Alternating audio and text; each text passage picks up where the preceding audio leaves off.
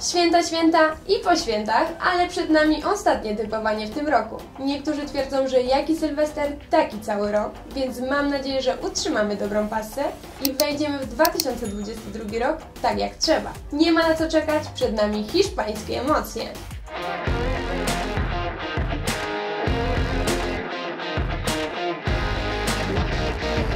Kupon otwieramy niedzielnym spotkaniem w ramach 19 kolejki La Liga, podczas którego Getafe podejmować będzie Real Madryt. Bugmacherzy nie wierzą w gospodarzy tego spotkania, ale mają do tego swoje powody. Ekipa Kike Floresa zajmuje 16 miejsce w ligowej tabeli, ma zaledwie 15 punktów na swoim koncie, a bilans bramkowy utwierdza w przekonaniu, że bramkostrzelny Real nie będzie miał problemów ze zdobyciem goli. Królewscy otwierają ligową tabelę i nawet Sewilli nie będzie łatwo ich dogonić. 46 punktów na koncie robi wrażenie. Carlo Ancelotti w swoich szeregach ma niezawodnych snajperów w postaci Karima Benzemy i Viniciusa Juniora, z których usług na pewno będzie chciał skorzystać i tym razem. Trzy z czterech ostatnich bezpośrednich meczów kończyły się zwycięstwem Los Blancos i podobnego scenariusza spodziewamy się tym razem.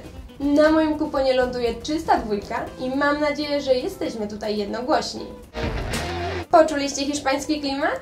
To dobrze, bo jeszcze tego samego dnia wpadniemy na Estadio Mendizorroza, na którym dojdzie do spotkania Deportivo Alaves z Realem Sociedad. Obie ekipy nie mają czym się pochwalić. Patrząc na bilans ostatnich pięciu meczów w ich wykonaniu, prędzej możemy złapać się za głowę niż piać zachwytu. Real jest w lepszej sytuacji, bo na swoim koncie ma prawie połowę więcej punktów niż jego niedzielny rywal. Do tego Javier Calleja chyba nie ma pomysłu na swoich podopiecznych, którzy tracą prawie połowę więcej bramek niż ich zdobywają. Goście muszą spiąć się w tym meczu, jeśli myślą o pościgu za czołówką.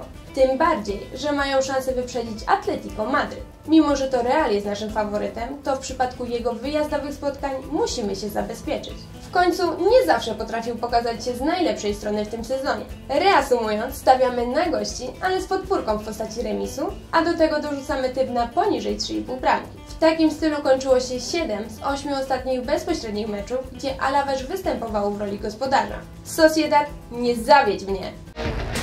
Coś czuję, że po dzisiejszym odcinku jedyne co będziecie opijać w sylwestrową noc to hiszpańską ligę. Śmiało możecie też powiedzieć znajomym, że zakończyliście ten rok pod palmą. Tym bardziej, że nadal zostajemy w Hiszpanii, a dokładnie w Sewilli, gdzie swój mecz rozegrają Real Betis i Celta Vigo. Według bookmacherów pewniejsze będzie postawienie na gospodarzy tego spotkania, a na taki typ mamy kursy w okolicy 1,80. Nie najgorzej, ale osobiście wolę trochę pokombinować. Co według mnie najlepiej postawić w tym meczu?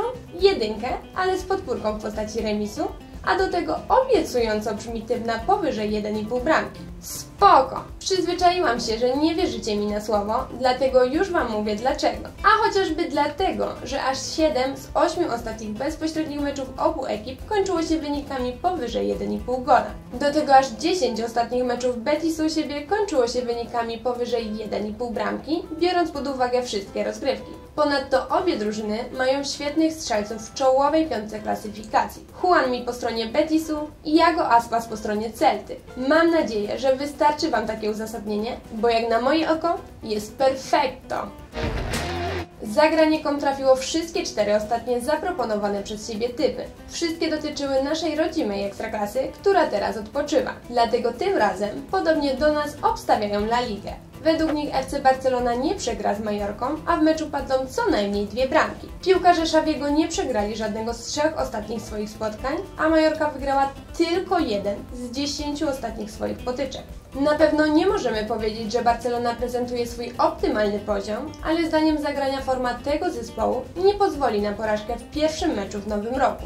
Wszystkie 7 ostatnich bezpośrednich potyczek kończyły się zwycięstwami Blaugrany i za każdym razem oglądaliśmy co najmniej dwie bramki. Najczęściej było ich jednak dużo więcej. 5 ostatnich meczów Barcy i 8 z 11 spotkań Majorki również kończyły się overami 1,5.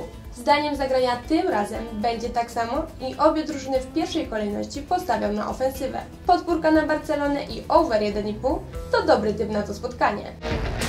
Nasz kupon zamykamy poniedziałkowym meczem, w którym Cadiz podejmie u siebie Sevillę. Goście są wiceliderem tabeli, mają 38 punktów na swoim koncie i świetny bilans bramkowy. Za to Cadiz jako swój sukces może zaliczyć ostatni mecz z Realem Madryt, którym podzielił się punktami po bezbramkowym remisie.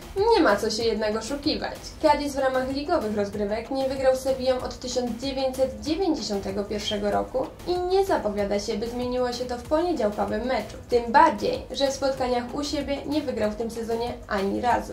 Julen Lopetegui nie lubi tracić łatwych punktów, dlatego w tym meczu stawiamy na czystą dwójkę i naszym zdaniem inny scenariusz nie ma prawa się ziścić. Mam nadzieję, że nasz weekendowy kupon zazieleni się w całości i w poniedziałek będziemy mogli odpalić fajerwerki, a nie tylko zimne ognie. A skoro poruszamy już wątek sylwestrowy, to życzę Wam samych pięknych chwil w nowym roku.